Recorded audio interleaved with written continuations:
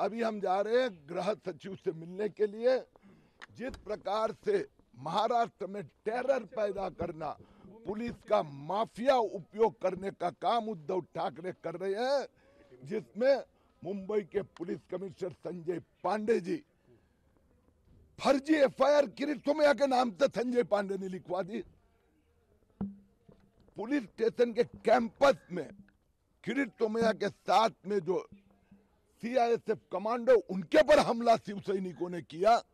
वो कमांडो के ड्राइवर के विरुद्ध में एफआईआर दर्ज की जाती है। वाशिम हो पुणे हो मुंबई हो तीनों जगह कमांडर पे हमला हुआ। और उद्धव ठाकरे धमकियाँ उनके शिव सैनिक देते हैं। मेरे सामने टकराओगे तो तुम्हारा मनसुख हिरन कर संजय उनका प्रवक्ता जो है वो कहता है 20 फुट ज़मीन में हम दफना देंगे। आज हम डिटेल रिपोर्ट करेंगे और स्पेशल टीम भेजे, उसकी बात करेंगे। मुझे मालूम नहीं कौन जा रहा है। कोई डेलीगेशन जा रहा है दो चार लोग पकड़कर। क्या हो गया महाराष्ट्र में? किसी को यहाँ थोड़ा खून आ गया है। हाँ तो राष्ट्रपति शासन लगाने के लिए भाग गए। जाइए। अगर आपकी कोई समस्या है तो आप महाराष्ट्र के मुख्यमंत्री से मिलिए, महाराष्ट्र के गृह मंत्री से मिलिए। आप उनको अपना निवेदन दीजिए।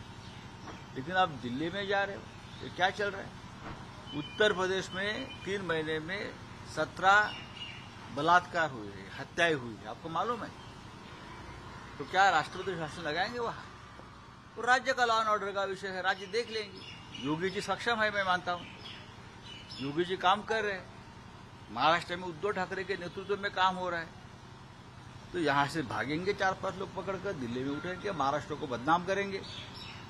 यह तमाशा बना रखा है लोगों ने।